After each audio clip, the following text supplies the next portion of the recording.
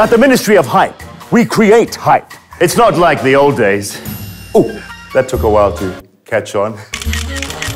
These days, it's just so easy. Send in the bots and boom! Hype. Put Kim into a pair of these and boom! Hype. It's almost too easy. Right, guys? Guys? Guys?